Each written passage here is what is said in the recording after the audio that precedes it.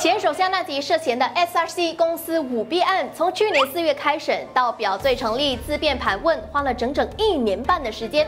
那在高庭七月二十八号宣布判决之后，就代表这件案件圆满结束了吗？纳吉还有什么后招可以用？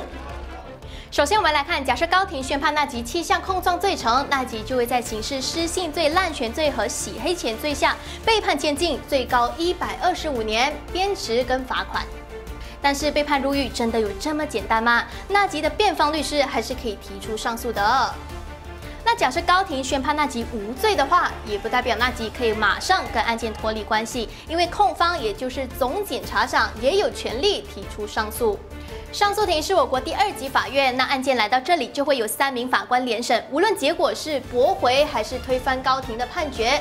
控辩双方都还是会有最后一次的上诉机会，那案件就会来到第三阶段联邦法院。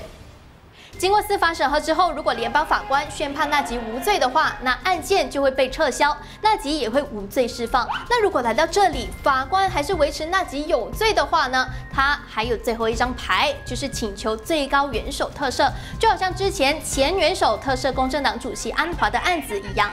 那无论如何，纳吉在 SRC 案被判有罪还是无罪，又有什么影响呢？假设纳吉被判有罪的话，他就会失去国会议员的资格，而国盟也会失去一个国席。但也有可能在层层的程序完成之前，我国先迎来大选，重新洗牌。